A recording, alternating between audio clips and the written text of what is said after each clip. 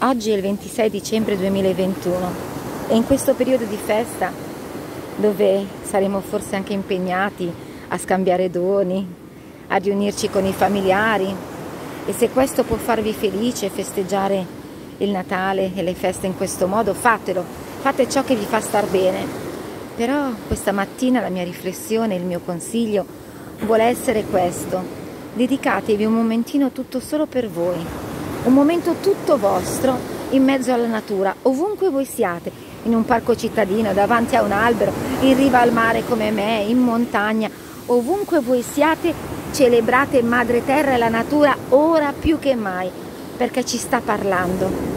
E mentre ancora la battaglia nei cieli è aperta e il drago sta combattendo con l'arcangelo solare, proprio in questo momento, presto la battaglia finirà e vedremo grandi cose manifestarsi nei cieli, non manca molto. Ma nella consapevolezza e piena coscienza e fede che tutto avverrà secondo i piani del Signore, ritagliatevi un momento tutto per voi per lodare e ringraziare.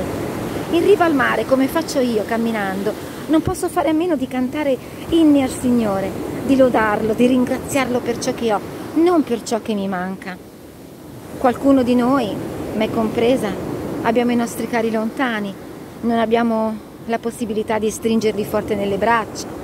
Magari in questo Natale ci sono mancati tanto e la nostalgia si è fatta sentire come capita spesso nelle feste, magari un po' di tristezza, magari dei ricordi nostalgici.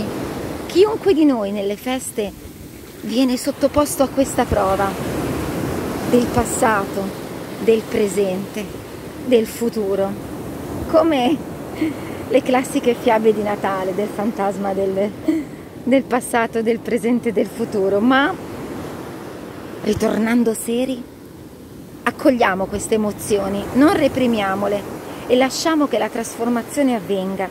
E questa volta, questo Natale, lasciamo che qualcosa cambi in noi e invece di pensare in maniera nostalgica ciò che ci è stato dato o tolto, ringraziamo per averlo avuto. E invece di piangerci addosso, magari perché siamo soli, ringraziamo per quel momento di raccoglimento che ci viene concesso e di meditazione, di profonda riflessione. E magari invece di lamentarci perché ci manca qualcosa, ringraziamo per ciò che abbiamo, pensando a chi ha molto molto meno, ai poveri che non hanno neanche un pasto caldo, mentre a noi un tetto sopra la testa e un piatto di pasta non manca.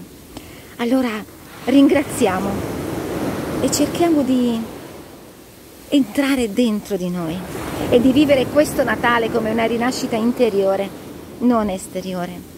Con questo non voglio dire che sia sbagliato riunirsi tutti, scambiarsi doni e diciamo la frenesia del Natale commerciale, se vi fa star bene ma tenetevi dieci minuti almeno solo per voi, per riflettere sulla vera essenza di questa festa, sul Cristo bambino che nasce nel mondo, sul sole bambino che torna e un nuovo ciclo si apre davanti a noi. Riflettiamo, riflettete e godete di queste feste anche in maniera interiore, tutta vostra. E nel cammino della vita Abbiate sempre gli occhi in alto, lo sguardo verso l'alto, gli occhi rivolti al sole, come il girasole, e i piedi piantati per terra. Come diceva San Francesco, piedi per terra nella polvere, ma occhi e sguardo verso il cielo. E allora così.